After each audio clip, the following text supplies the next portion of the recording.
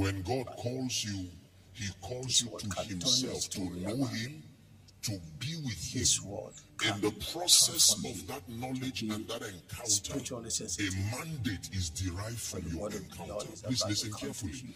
God does not call you for the primary purpose of giving you a mandate. That is already wrong. can turn your It is not consistent. He works. He called the disciples to be with Him, and then that He might send. Spiritually sensitive. So your growth and your knowing God, your come to you. intimacy with God is greater to God than even your witness. word can turn Because it is from the strength of your knowing Him that you become an effective witness. transform you. Are we together this morning?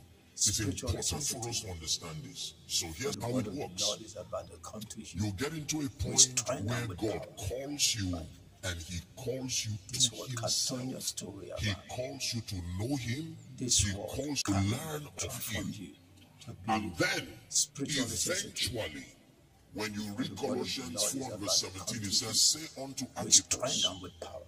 that the ministry that thou hast received in the Lord, not from This the Lord.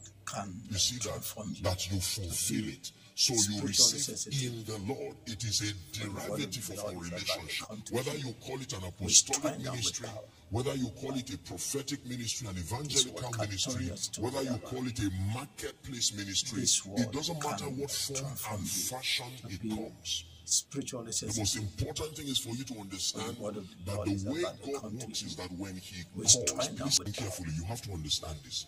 When He calls men, can turn your He calls them to Himself. This Are we together?